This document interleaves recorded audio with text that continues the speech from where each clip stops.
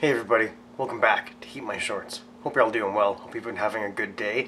It was only a couple hours ago, maybe a few hours ago that we hung out, but I really wanted to get another video in today because I wanted to keep doing a tincture review every day and get through these two late for work tincture series.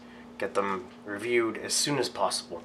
So, let's keep going with our Nightmare Before Christmas lineup. This is the third one in the Nightmare Before Christmas lineup. This is Zero. I like that label. I mean, it's a Nightmare Before Christmas themed label, and I really like what they've done with it here. And uh, yeah, I really like the presentation, as always. The, the fade, the color fade on their bottles is a really nice touch. The gold plated cap is a nice touch. The white rubber squeezer is just, it just looks nice. It's just a really nice looking thing. I don't know. and I think that goes a long ways. So, tell you a little bit about this. This is a mild to medium heat tincture with aji lemon drop peppers for heat. Same as the Sally tincture in the same series. Um, and this is flavored like pumpkin pie. Now, I love pumpkin pie. I love pumpkin spice. I love squash. I like that stuff. That's good stuff, and I love anything pumpkin spice, pumpkin pie flavor. I'm a big fan. Actually, to be honest, I had pumpkin spice creamer in my coffee this morning. I, that's one of my favorite of those International Delight creamers. It says it's a seasonal flavor, but it's been out for like, I feel like it's been over a year. so it's a long season. I'm, I'm down with that. So, Zero in Nightmare Before Christmas was Jack Skellington's ghost dog. That's him. He's, he's a doggy, but he's a kind of that classic ghost bed sheet, white bed sheet ghost look. Um, he helped guide Jack through the fog on their walks. Jack finds the door to Christmas Town while walking Zero. Um, Zero is sort of a parody of Rudolph the Red-Nosed Reindeer, but in Christmas or in uh, Halloween form, not Christmas. It's in the Christmas is in the name, but it's a kind of a Halloween movie. You know, it's kind of halfway in between the two of them, I guess. so, anyways, so what all there is to go over on that. Let's give this a shaky shake before we open it up. Let's see what it smells like. Oh yeah, that smells like pumpkin pie. Like absolutely. Wow. That totally smells like pumpkin pie. I'm getting a little bit of that alcohol aroma on this one. Not not bad. It's actually smells really nice. So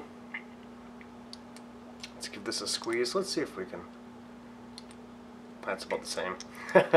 we can always go back for more, right?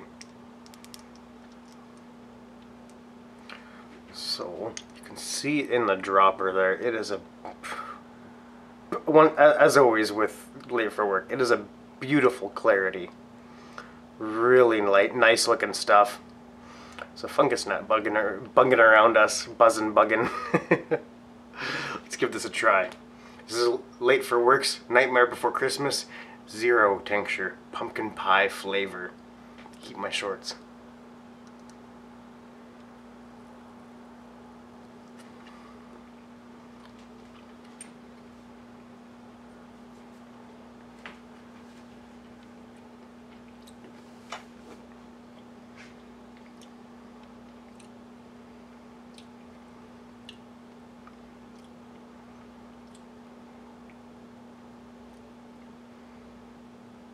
That's interesting.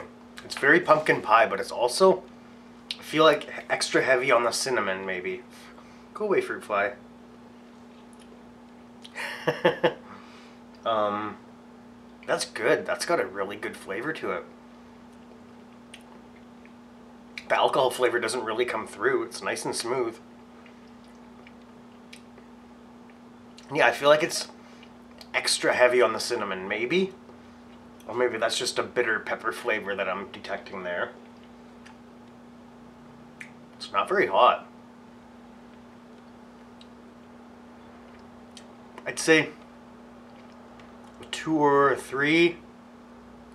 I'm thinking more like a two out of ten on my heat scale. Stop it, fly. I don't like it when you do that. so, yeah, for me, let's say two out of ten.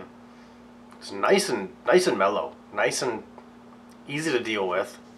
Um, if you're eating ha- habaneros, habaneros, a little bit of a stutter there, probably find this to be four or five out of ten, maybe a six out of ten on your heat scale. If you're eating jalapenos, more like a seven or an eight out of ten. Probably not a nine or a ten. It's nice and mellow stuff for sure. But then again, somebody's going to say this is a 10 out of 10.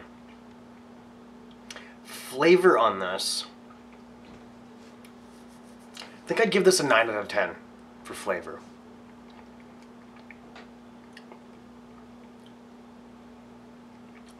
Yeah, I think I'd give this a, a 9 out of 10. Really good flavor. I can really taste that pumpkin spice flavor. That bitter flavor might be from that aji lemon drop pepper. Um, or it might be just from a, a lot like a cinnamon flavor. But I like it. It's good. It works really well. At first I was confused by it, but it took me a second and then I really warmed up to it. Well, literally and figuratively, I guess. and uh, it really works. It works really well pumpkin spice because it is spicy. Spicy pumpkin pie. Um, would I recommend this? Yeah, if you like pumpkin pie with some pepper powder flavor in it. And yeah, I'll go ahead and say that. Some extra cinnamon flavor in there as well. If that sounds good to you, I highly recommend checking this stuff out. It's a nice mild tincture, so it's a good one to start with also. One of the more mild ones that you'll find, for sure.